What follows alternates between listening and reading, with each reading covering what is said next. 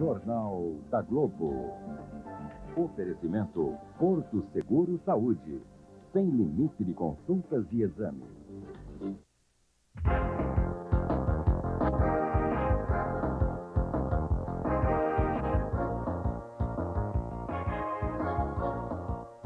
Boa noite.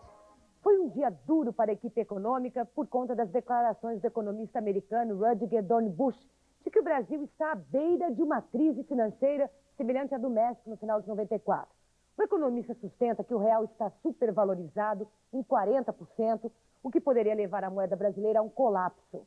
O ministro da Fazenda, Pedro Malan, respondeu em entrevista a uma agência internacional que no Brasil todo mundo sabe que isso não é verdade. A balança de pagamentos não é um problema para o país.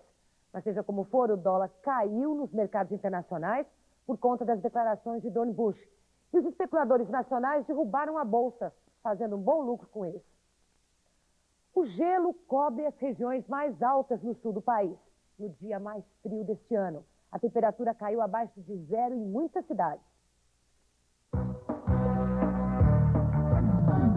Em Erechim, no norte do Rio Grande do Sul, uma fina camada de gelo cobriu os vidros dos carros.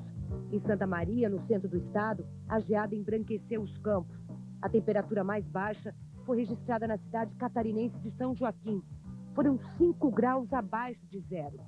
O frio intenso acabou transformando a vegetação em esculturas de gelo que se desmanchavam à medida que refletiam os primeiros raios do sol.